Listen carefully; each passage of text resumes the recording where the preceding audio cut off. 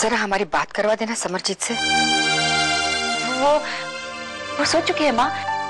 बहुत थक गए थे ना? ठीक है, कोई बात नहीं। हम कल फ़ोन कर लेंगे हाँ? जी।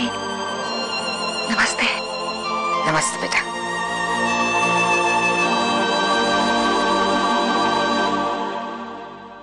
दीदी हजामत करने वाला घर आने के बीस तीस रुपए मांग लेगा।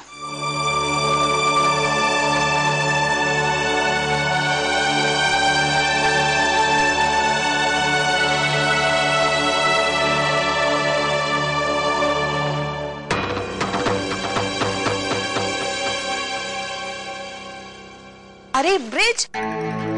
जा कर रहे हो? बाज़ार। तो आते समय एक किलो चावल लेते हैं हम्म? पैसे हैं ना? या दे दूँ? नहीं मामी हम दे देते हैं ना। अच्छा।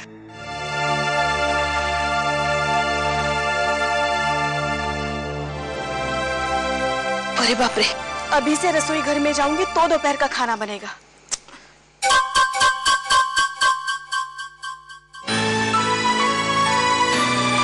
कृष्णा अखबार लाओ। कृष्णा।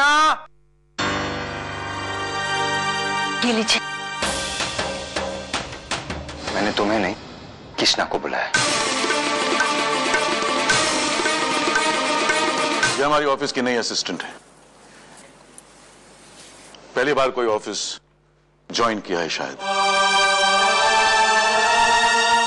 हमारे प्रोफेशन में बड़े बड़े शहरों के क्लाइंट से हमें डील करना पड़ता। इसे जरा मॉडर्न तौर तरीके सिखा देना आपने हमारा ये घर मेरा मतलब ये स्वर्ण भवन देखा है? जी। नहीं देखा ना? मुझे पता है। आइए मैं आपको दिखाता हूँ। आइए देखिए। ये है स्वर्ण भवन। वैसे सच कहूँ ना तो इस स्वर्ण भवन में देखने लायक कुछ भी नहीं। जैसे पहले राजा महाराजाओं के बड़े से अनबिलीवेबल से घर हुआ करते थे ना बस वैसा ही एक बड़ा सा घर है।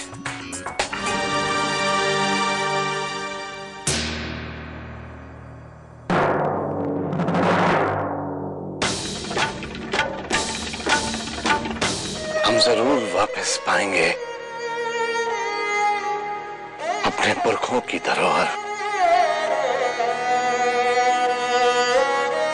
आपकी और हमारी वो तस्वीर कहाँ है, जो हमने सबसे पहले खिंचवाई थी?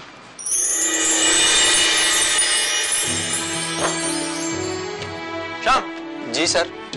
ये क्या कचरा पड़ा हुआ अभी तक? उठवाओ ना इसे। जी सर।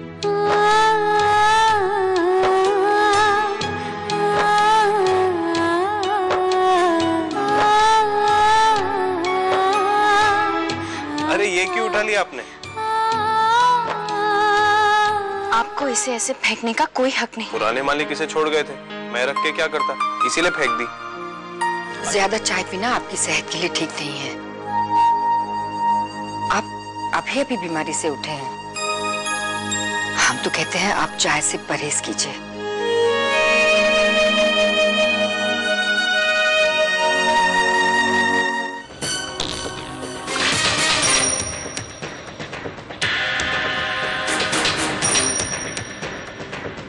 आ गई स्वर्णाभा जी पिताजी। ये क्या लाई है? जी कुछ नहीं पिताजी बस बस ऐसे ही। दिखाओ तो।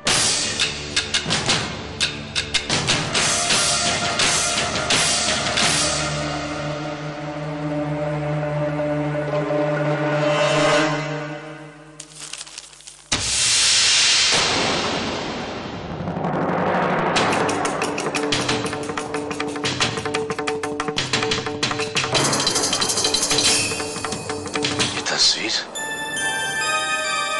ये तस्वीर तो आज हम ढूंढ रहे थे।